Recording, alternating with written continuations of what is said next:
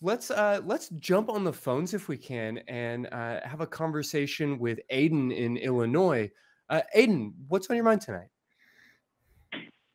Hi. Yes. Um, I was listening from earlier, and I heard about how you you were talking about working through uh, childhood traumas and whatnot, the children.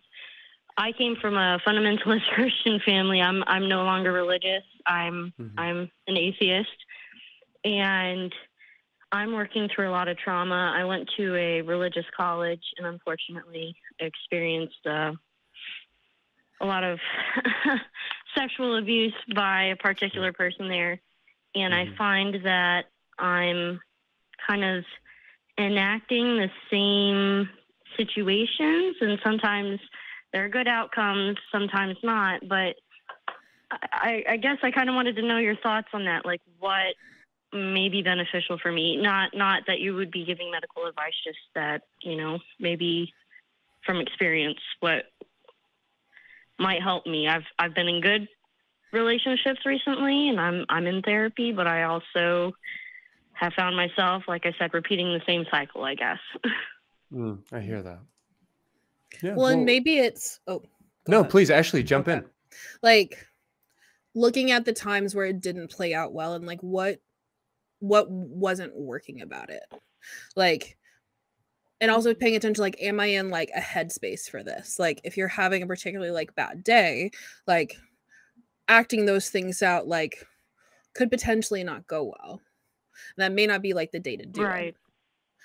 But if you're like in like a good place and this like this feels like this could be something that i could get some enjoyment out and like really checking in with yourself beforehand and checking in with your partner too about like where your headspace is. Because if you're going in with like carrying like the weight of the world on your back that day, like you're not going to have like a good time.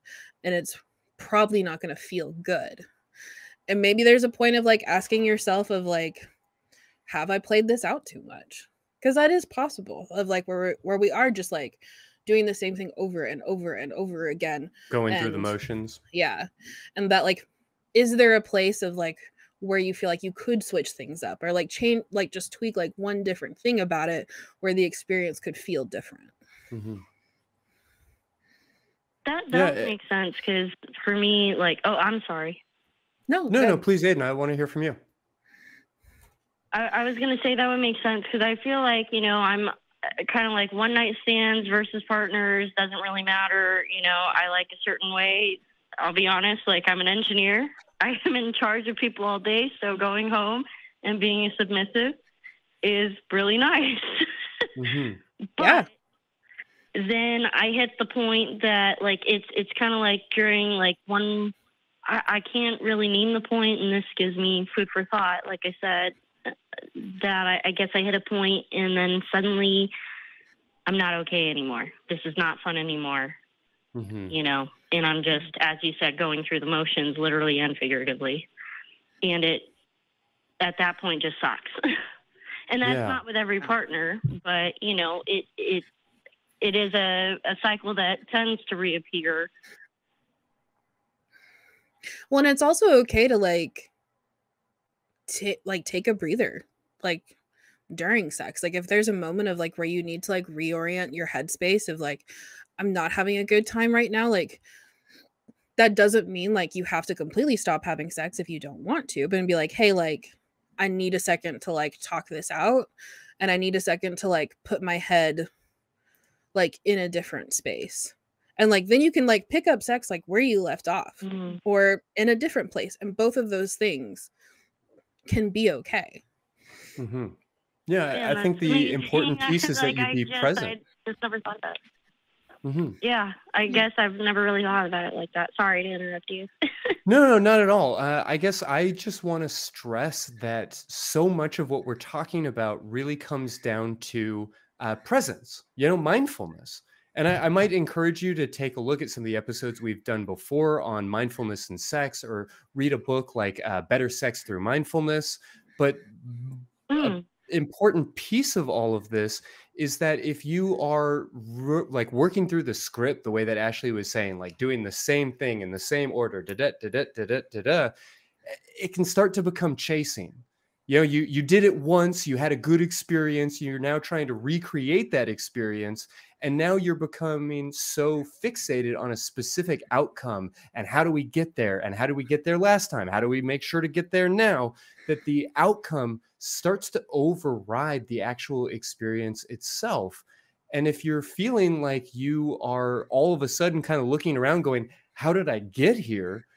I would wonder if it's at least in part because you were becoming sort of consumed by follow by playing that role by being who you were supposed to be rather than being curious about who you are in that specific moment. Uh, does that resonate for you at all?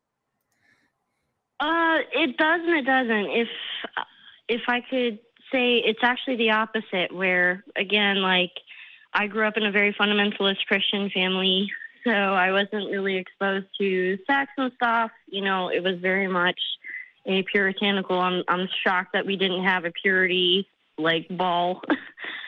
um, but basically, for me, when I was assaulted in college, it was very violent, very painful, um, very traumatic. Sure. To put it succinctly, and. Mm-hmm.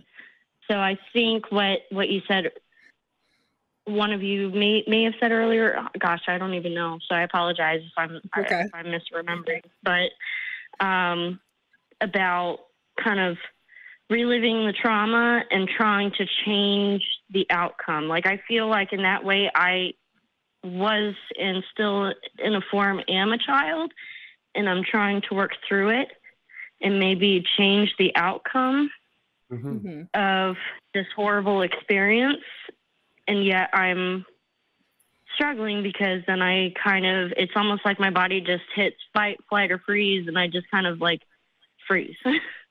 yeah. like it yeah. just. And and that is a, a real concern because it is possible to re-traumatize ourselves, to to put ourselves in a situation that looks like, feels like, smells like a experience that really hurt us. And so you you do want to be mm-hmm. at least mindful of that piece but the the meaningful distinction here, and, and Ashley, I'd love for you to fill in the gaps or correct me where I'm wrong.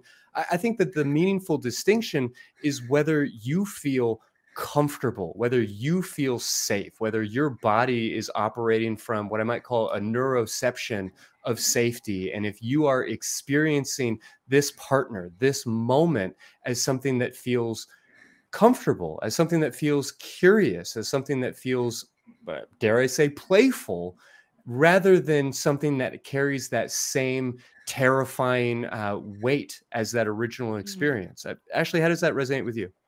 Yeah, well, and I think that like also goes back to like it's okay to pause sex. And yeah, I think yeah. like that's not something that's like talked about as much like with adults. Like it's okay to pause. Absolutely. Like Mm-hmm. I mean, even if you just have a cramp or, you know, oh, somebody's going too fast or too slow or whatever else. Yeah. Like, I'll be honest, like, I've been sexually assaulted before. And I know that, like, fight, flight, freeze feeling of, like, even if you're with, like, a partner that you feel so comfortable with, very safe, like, that feeling can mm-hmm. still come up. And then it's like, okay, hey, like, I need a second. Like, I need to just, like, remind my body I'm in a safe place. I'm with a completely different person than what had previously happened and this isn't the same situation and mm. sometimes that's part of like the right, pause is just grounding. reorienting ourselves yeah grounding ourselves to like just being right here where we are and another thought that i'm having is like i'm wondering if like you know maybe doing some like topping from below mm-hmm. might be full of like like putting a different spin on it where like you still feel like you're kind of in like a submissive position, but you also have like power in that position and that to it's create not that just, sense of safety yeah like it's not just about being like a helpless mm-hmm. participant in sex it's like i also have like a sense of ownership in this experience mm. that's a really good point yeah and as for filling in the gaps um i apologize you made a really good point and i kind of flooded my mind because i'm processing a lot of this. Um, yeah. Yeah, I mean, I I would say that yeah, definitely like one night stands for me can be especially traumatizing, like re-traumatizing. So mm-hmm. I've actually stopped doing that, and I'm actually in a polyamorous relationship now. mm-hmm. Which yeah, I'm and like totally cool one night it works really well for me. Yeah, like one night stands can be fun, but they're also not for everybody. Like I think there's this idea of like we have to like be having anonymous one night stands with with people or else we haven't had like a full sex life and that's not if I'm a sex everybody. positive feminist, then I yeah. have to. Yeah, no, uh, one night stands are are good, but they might not be good for you, and that's totally valid. Yeah, like for you, they may not be like an empowering experience. For you, they can be re-traumatizing, and that doesn't say anything negative about you or your sex life. That just means that you operate differently.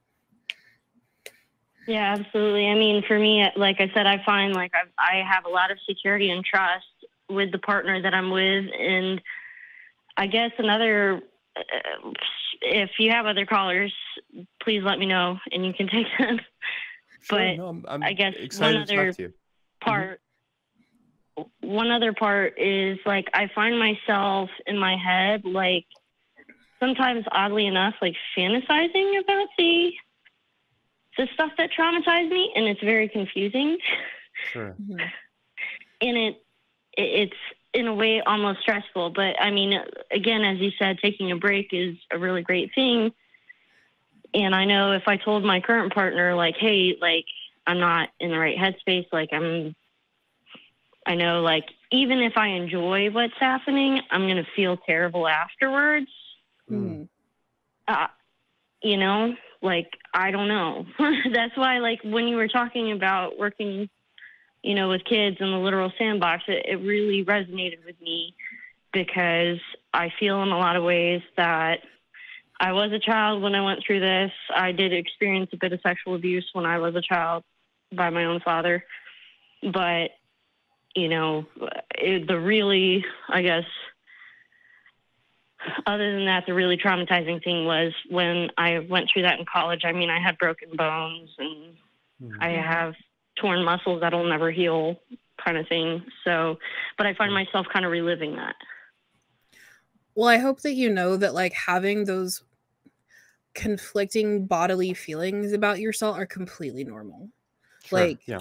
there are bodies respond sometimes without our consent like yeah, sometimes I'm... our mm-hmm. bodies and our brains just like don't match up or like we get these intrusive thoughts and like they feel really stressful and like I hope that you know that that's normal. Like you are not Thank you. That doesn't say anything like bad about you or that you wanted it or whatever. Like bodies are just fucking complicated. Yeah and i i know i'm oversimplifying here but i i really think it's worth just highlighting quickly that our uh, our our arousal responses whether we are talking about a erection or vaginal lubrication or you know our heart rate or these things they rarely have anything to do with our judgments. You know whether we deem something as ooh sexy or whether uh, we actually enjoy the thing those arousal responses, particularly for folks who have vaginas, are much more tied to our brain simply saying, oh, something in the neighborhood or related to the concept of sex is occurring. Therefore, I'm going mm. to have that arousal response. There mm. a lot of great research about this, and not enough people are talking about it. So many people, particularly women, are feeling really terribly about their reaction to a traumatic experience when that reaction had nothing to do with their desire, with their consent, with uh, mm-hmm. uh, their wishes. And to it's just important to recognize that things like vaginal lubrication are not the same thing as emotional engagement or consent or investment in the experience those are bodily reactions that are largely beyond our control. And they don't indicate that you found something sexy. They just mean that part of your brain that is uh, responsible for scanning the area for things connected to sex has been activated. Mm-hmm. Right. Yeah, I've I've actually looked into some research studies about that because there are you know victims of sexual assault who, you know, they're their court cases were either let off or, or you know dismissed because they experienced that and mm-hmm. it has yeah, it has nothing to do with the actual experience. And for me, like I said, like I I think, yeah, definitely, you know, taking a breather, taking a moment to kind of ground would be really helpful. And that's, it seems so simple, and yet I didn't really think about it, but that's a really great Okay. answer.